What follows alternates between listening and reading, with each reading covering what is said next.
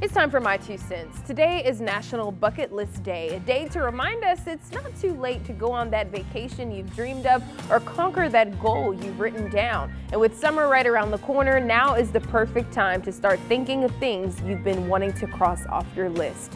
Travel is something I want to do more. One place I have on my bucket list is to visit Venice, Italy. The canals, bridges, buildings, and food makes me feel like it would be such an interesting place to visit. I also would love to visit Japan. I just can't get over the beautiful landscapes, restaurant scene, and I'm sure the cherry blossoms during the spring are gorgeous. My third vacation spot I would like to visit is right here in the States.